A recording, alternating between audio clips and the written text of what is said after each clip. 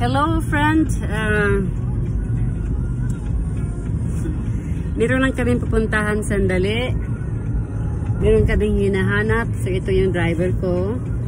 Meron kaming hinahanap na lugar na napaka-importanting lugar na kailangan namin pupuntahan. Kasi ano, very special itong ano to, yung araw na ito. So, hindi, first time namin pumunta sa lugar na yan. Nag-depend lang kami sa ano sa guide namin dito yung GPS. Is that GPS, Roger? They call it? What else is it called? What is the meaning of GPS? system. The last word is system. Huh? The last letter. Uh, we are both doesn't know how to use our words. Okay, so dito, ipakita ko sa inyo yung mga daanan namin para makita nyo naman ang buhay, ah, buhay, ano ba yan, buhay, oh, oh. Oh, I'm going to transfer that. I know you travel a lot of uh, places, but which one is the best? Oh my god, my which one is favorite the so best? far? Yeah. My favorite in America is LA, and then my favorite in the world so far is Colombia. Oh my goodness. You It's picked so that nice. country, Colombia? Mom, have you seen how beautiful Each- my I would tell you something. Each people in Colombia, they're wishing to live in America.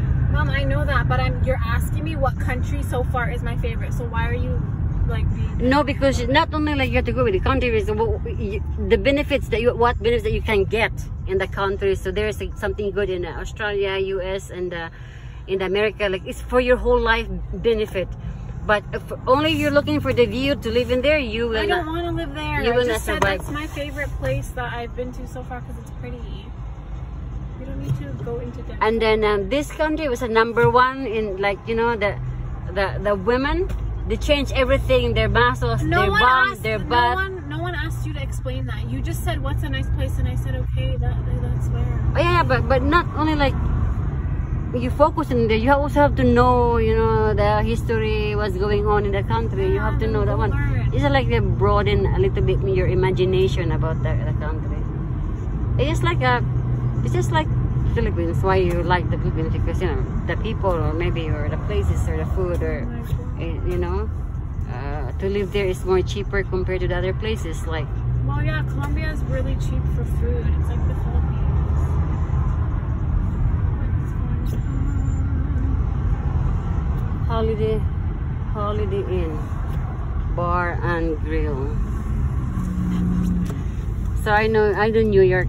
I know New York is crowded and you have to take a taxi all the time. You just take Uber. But yeah, let's go to New York for like three days. I can do that, Yeah, but I have to. just in the summer. How much are you're gonna spend? Maybe. Mm, tickets like 400 hotel. I'll see how much it is for with Nagam's discount, and then I think me and Nagam just had like 400 dollars like spending money, but we converted it. Four hundred like US dollar? So that's 500 Canadian. But it's pretty worth it. There's a lot of nice stuff to Yeah. see. The 9/11 stuff is cool. There's water. You could see the Statue of Liberty. New Jersey is not that far. Um, Empire State Building. All those buildings have observation decks, and the view is really nice. You watch sunset. Um, downtown is pretty.